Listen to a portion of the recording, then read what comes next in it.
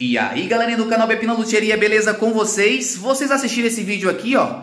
É um dos nossos últimos vídeos. Fender Sultan Cross, que fizemos a, a parte toda de braço. Verniz, traste, logo, deixa eu ver se mostra a parte da frente pra vocês aqui.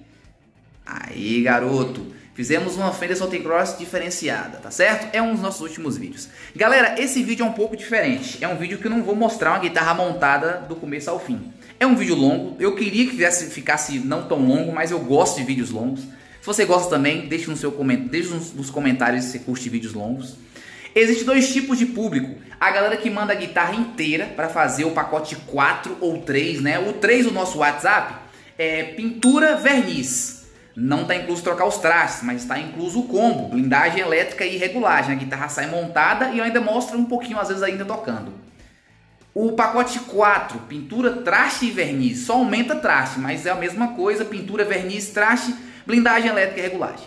E tem a galera que só envia somente braços de guitarra, pode sim. Se você segue o nosso Instagram mesmo, de verdade, você sabe que nós trabalhamos também com é, somente verniz de braço, como vocês viram no vídeo aqui, quem assistiu, e também somente pinturas de corpo. Eu posto, já postei aqui algumas vezes já, mas é poucas vezes, mas posto muito no Instagram. Então se você quer enviar um corpo de sua guitarra, somente o corpo, para a gente fazer um serviço como esse que vocês viram na thumbnail, tá? É só chamar no nosso WhatsApp, escrever primeiro o menu e digitar 3.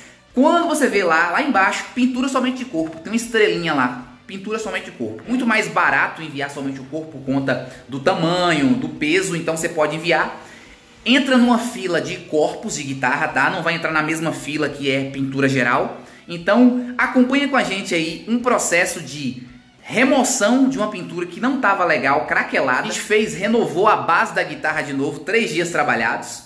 E depois fizemos a nossa pintura com polimento, porque a guitarra era brilhosa, tá certo? Então deixe seu like, compartilhe esse vídeo para alguém que tem um corpo de guitarra, que quer reformar, não quer gastar com a transportadora para mandar a guitarra toda, quer você mesmo montar em casa, ou confia no seu luthier para montar a sua guitarra, envia pra gente.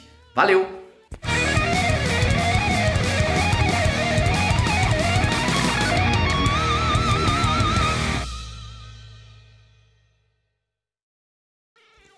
Galera, em primeiro lugar, eu estou fazendo aí a remoção né, com soprador térmico, porque essa pintura já chegou craquelada. Praticamente aí essa guitarra ia descascar é, durante os anos e ia ficar cada vez pior.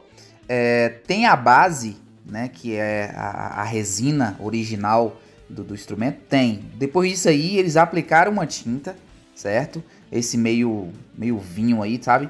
Depois fizeram a, o famoso Candy Apple Red, que é prata com o vermelho translúcido. Só que aí tava com cara que ia dar merda. Né? Começou a estralar em alguns cantos e ia descascar é, até a guitarra ficar praticamente Frankenstein. Então, em primeiro lugar, a gente está fazendo aí a remoção. Acompanhe aí todo o processo de remoção com, com o soprador térmico, lixamento e depois a selagem com verniz.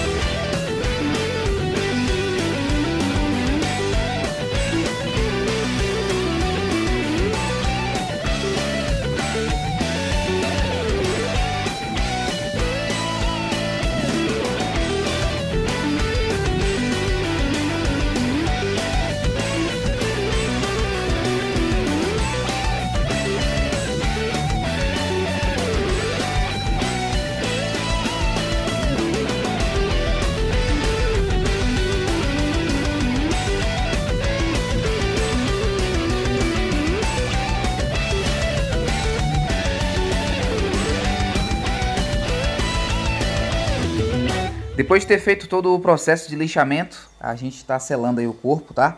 Com PU. E vão ser três dias trabalhados, tá, galera? Para você que vai enviar é, corpos de guitarra pra gente para poder fazer o serviço, quando a base é bacana, a gente consegue começar a pintura através dessa base. Quando a base não tá bacana, tem que fazer a remoção, tem que ser feito esse processo aí. E esse foi o resultado do primeiro dia. E vão ser três dias para ficar no padrão. E galera, esse foi o terceiro dia, tá? É, não precisei mostrar para vocês aplicando verniz porque foi a mesma coisa. Foram três dias trabalhados, estou fazendo aí o lixamento da peça, tá? E logo após esse lixamento já vamos começar a nossa pintura, beleza?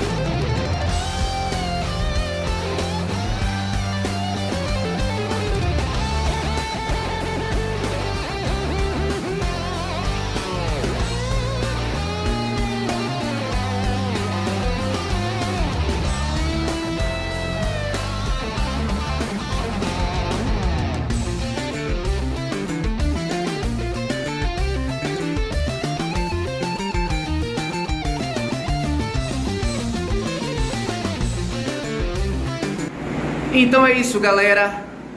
Olha só isso. Começamos, hein? Olha só isso que legal. Guitarra totalmente pintada.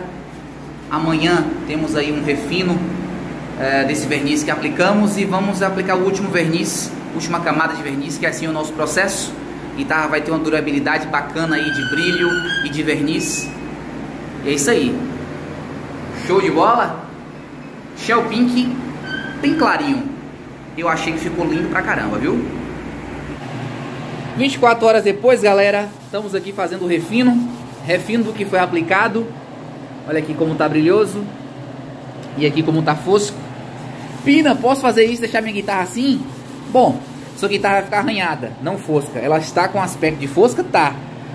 Parece que tá fosco, bonito, para profissional? Não, mas aqui é só arranhado mesmo. Estamos aqui fazendo esse fosqueamento para aplicar verniz brilhoso. Mas agora, Pina, eu queria um acabamento assim, fosco, desse jeito aqui. Pode? Pode. A gente aplica verniz fosco aqui agora, tá certo? Então é isso aí. Lixamento para refinar. Sabemos que na fábrica a resina um pouco mais dura, então a gente fazendo isso aqui, a gente chega bem próximo a uma, um, uma proteção maior desse verniz aqui agora. Beleza? Bora!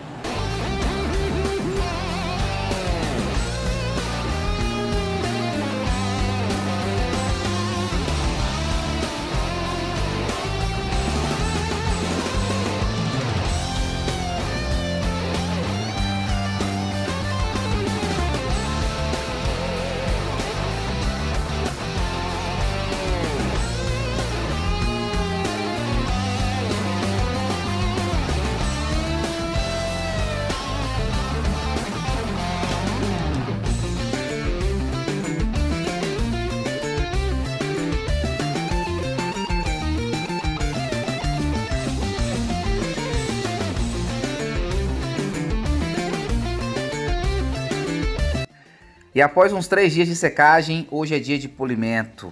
Tá vendo efeito casca de laranja? Vai ser feito um lixamento com as lixas específicas e agora vamos partir aí para o polimento padrão para ficar top. Essa guitarra tem que brilhar muito.